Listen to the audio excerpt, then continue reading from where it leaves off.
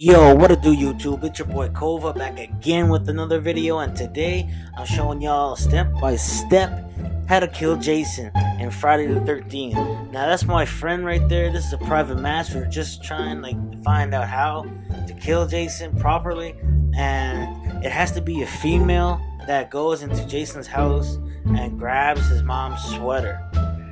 Now once you have that sweater your other friend, it has to be a machete as well. No other weapons work, but it has to be a machete. You have to aim up and hit for Jason's face. See, it takes a couple smacks, but his mask finally falls off. Now, you don't have, you don't necessarily have to pick up Jason's mask in order to kill him, but my friend did. But you don't really have to. But now the next step is important. The only guy, the only person that can kill Jason is Tommy Jarvis. You have to call Tommy Jarvis. Now, in order to call Tommy Jarvis, there's one house in every map. It has a long antenna on the roof. You'll be able to see it. You have to go on that house. There'll be a radio. You'll have to call in Tommy Jarvis. But man, hold up, hold up. Look at this guy. He's ugly. Woo! You're ugly, boy.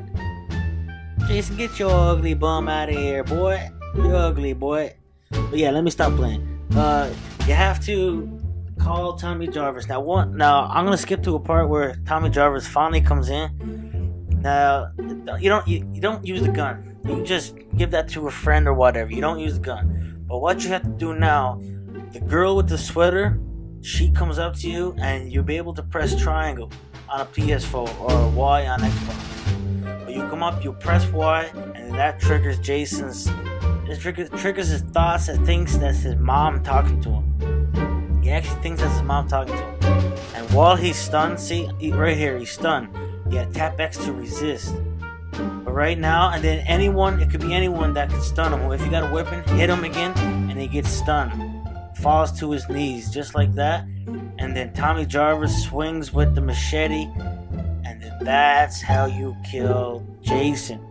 We finally figured it out step by step. So what you have to do, you have to be a the female has to go to Jason's house, get the sweater.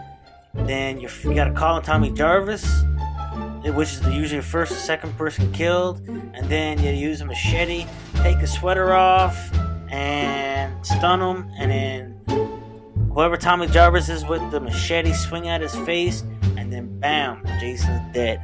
But anyways, man, I hope y'all enjoyed the video. It's your boy Covah, man. I'll see y'all in the next video, and I'm out. Peace. Every time I look up, it's another red cup. Bunch of niggas in the game, but they ain't playing with us. They just playing enough. Man, them niggas ain't.